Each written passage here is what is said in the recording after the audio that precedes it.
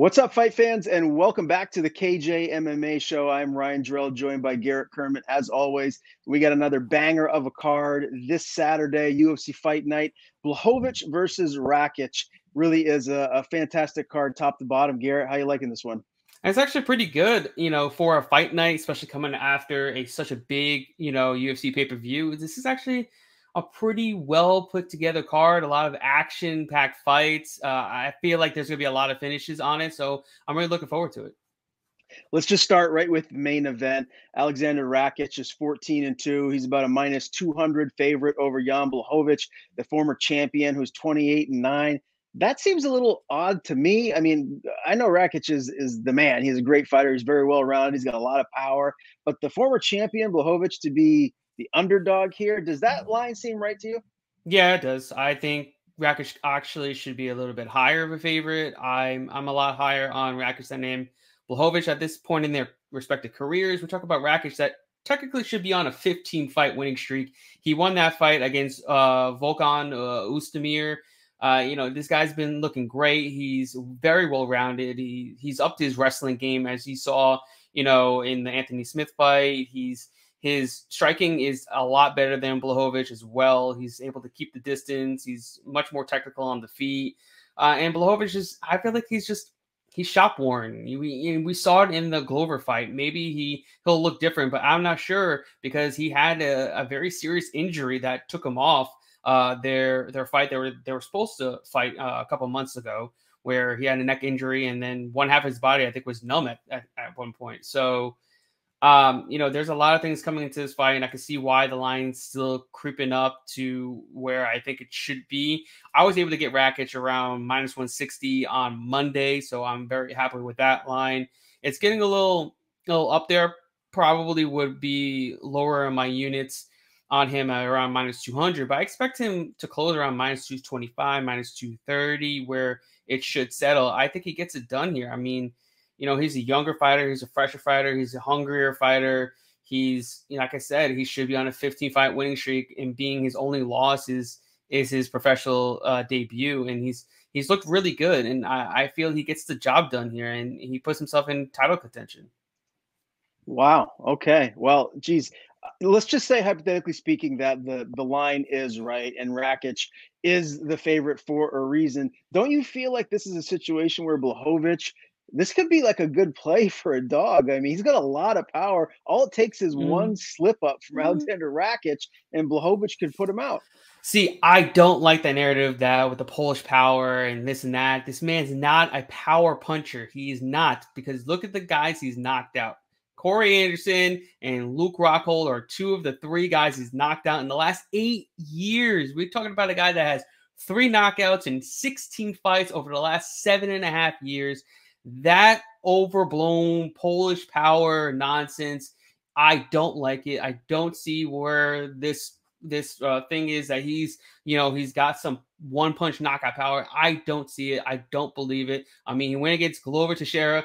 That power is nowhere to be found. He got overly he got overwhelmed. Um, there's other fights where he's gone to decisions. I mean, he went against Patrick Cummins, who's known to get knocked out. He lost a, a majority decision to him. I mean, there's so many people. I mean, uh, Jacare Souza, he went 25 minutes holding him against the cage. I mean, it's just things like that.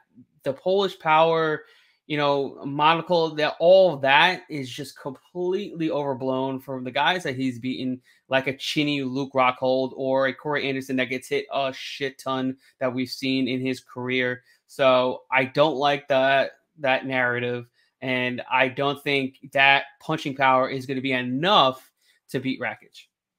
Okay, well, I will say this: Blachowicz did put out Dominic Reyes. I don't know what you feel about Reyes, but that's a guy. But that, that's uh, that's not aging like fine wine. Let's put it that way right now. Okay. Well, hey, I, I'm I'm not quick to no. write Blachowicz off. G- granted, I the, Rakic is legit, and he's the younger fighter. And you might be right uh, about the the injury injuries plural that Blachowicz has been dealing with. So this could be a situation where it could be the coming out party for Rakic. Do you feel like this guy is is a future champion? I don't know. It's uh, it's interesting because the light heavyweight division is is very up up for grabs because I don't feel like anybody's unbeatable. You know what I mean? It's not like Jon Jones is in the division anymore. I feel like that that belt's gonna change hands multiple times. I feel like Yuri could win the belt against Glover, and also could see Yuri losing that belt to literally anybody in the division. I mean, mm-hmm. there's so there there's so many different fighters that could really come up and win win the belt. Uh, whether it's you know Alexander Rakic or um, uh, Magomed Ankalaev you know, someone like that, or you know, even maybe Jamal Hill in in a few uh, in a year or two. You know, there's so many different fighters in that division that could win the belt. It's it's up for grabs. It's it's a very wide open division. And would I be surprised if Rakic goes in there, beats Blachowicz, and then goes on and beats Yuri or Glover? Absolutely not. Okay. Well, that's your main event for this weekend's fight night card. A really nice main event there. The co-main is Ryan Spann and Ian Cutelaba.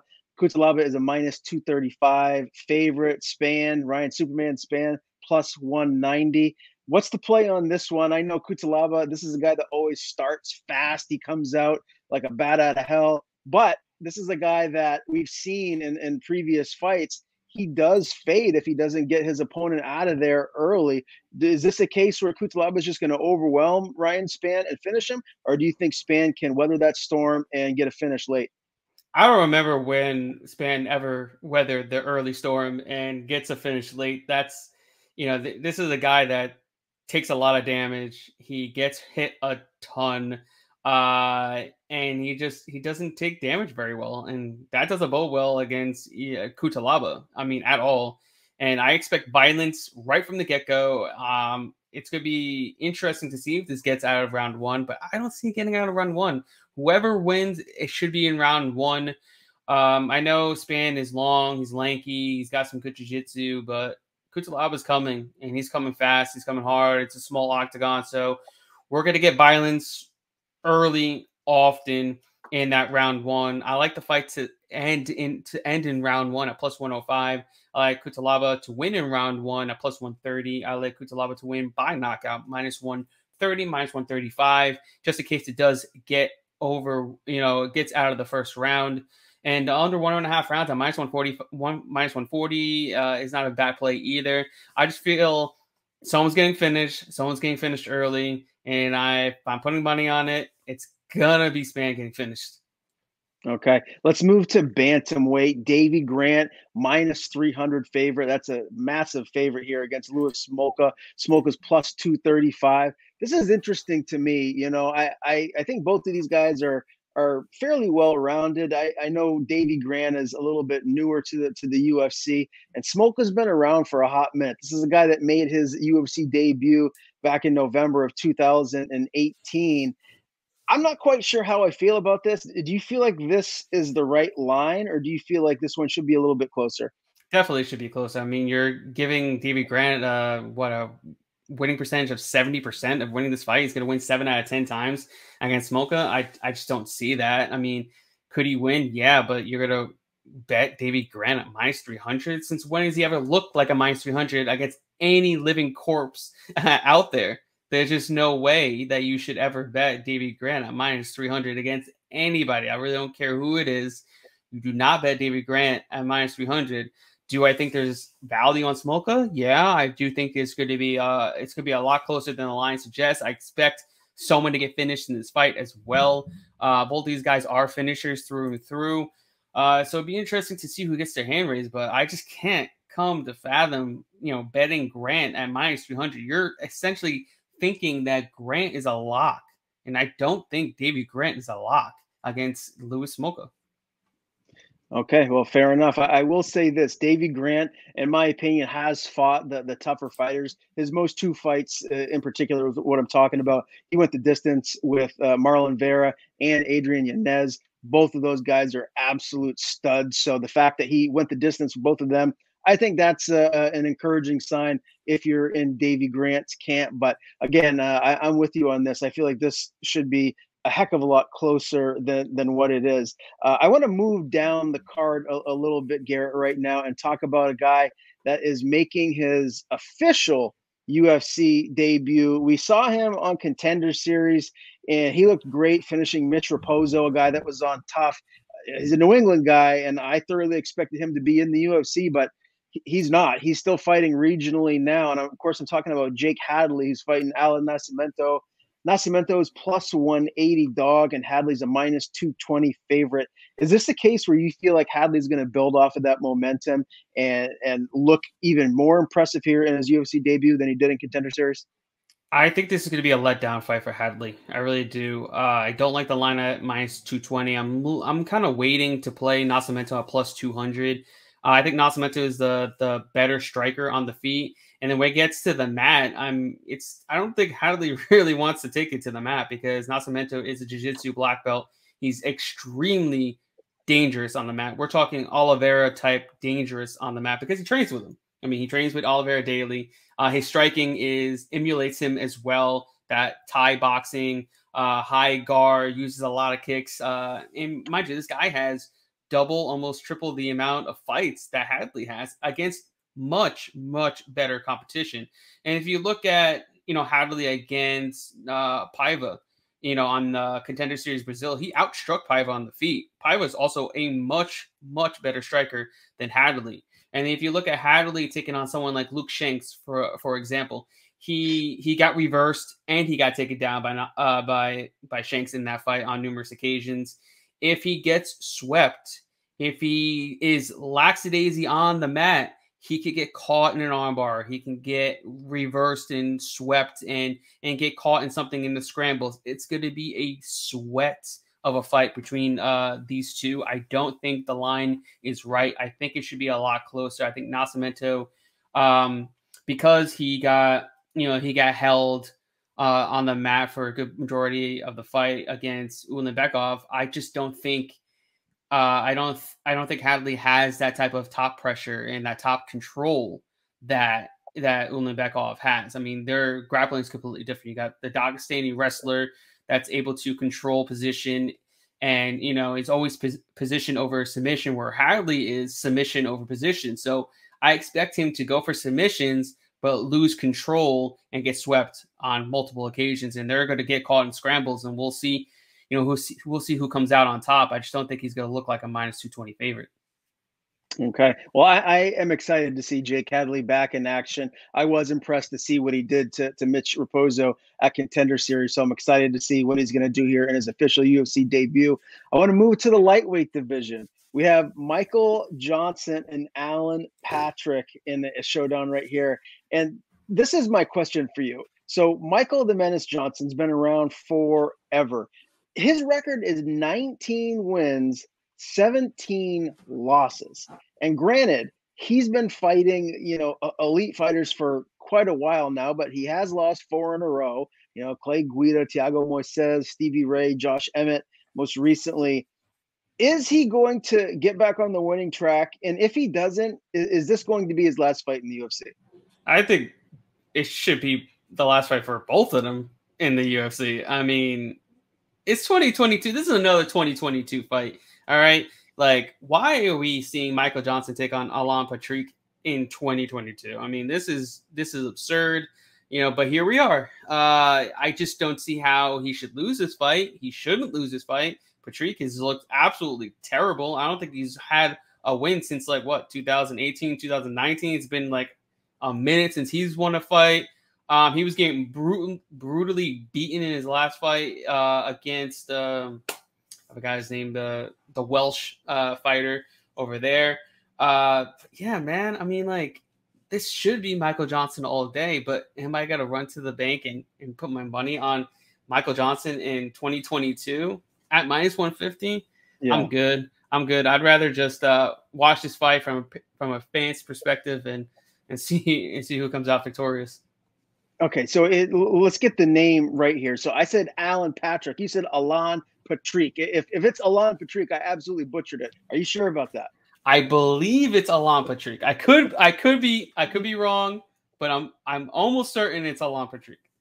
Okay, I definitely said it the American way, Alan Patrick or Alan Patrick, however you want to look at it. We, we have Michael Johnson uh, and Mr. Patrick Patrick back in action at 155. Now, this fight, I, I don't know if this is the, the curtain jerker, the, the first fight of the night, but when I look on Tapology, it sure seems that way. And for my money, This is one of the most intriguing fights on the card. And I'm talking about Nick Maximov and Andre Petroski.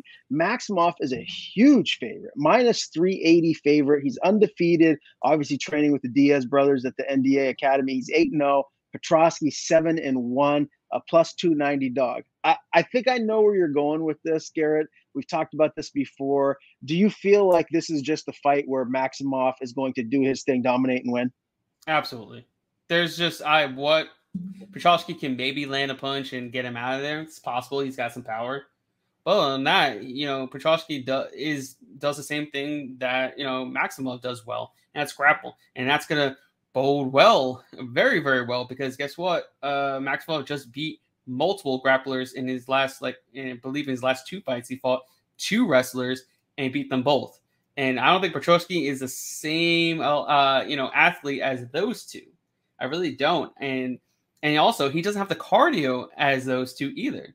So you're talking about a guy that wilts as the fight goes on. He he cardio dumps within like five minutes. And then Petroski is beaten literally no one in his entire career. He's beaten a bunch of cans. I'm just being honest. Michael Gilmore, uh, Zhang Zhu, Hu, or whatever.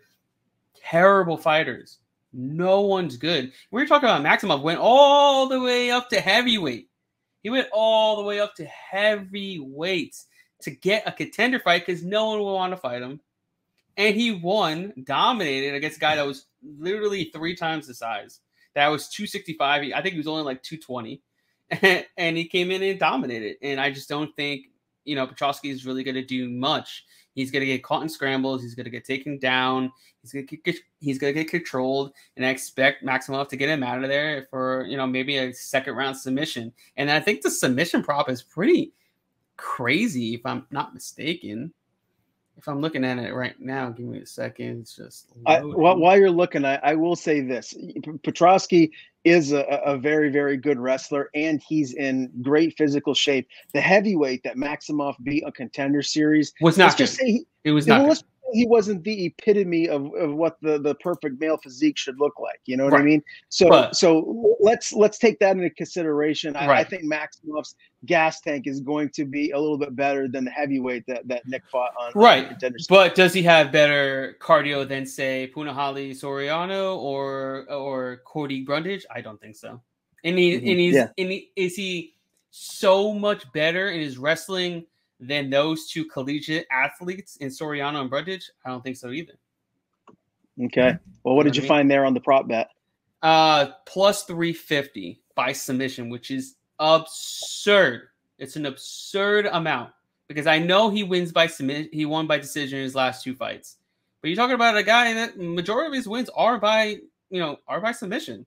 You know, uh, 3 mm-hmm. and you know he's got two knockouts as well. You know, I'm ground and pound but his bread and butter is take you down and and and submit you. And I, I feel like he could do that. You're, we're talking about Petroski got submitted by Bryan Battle after gassing out after round one.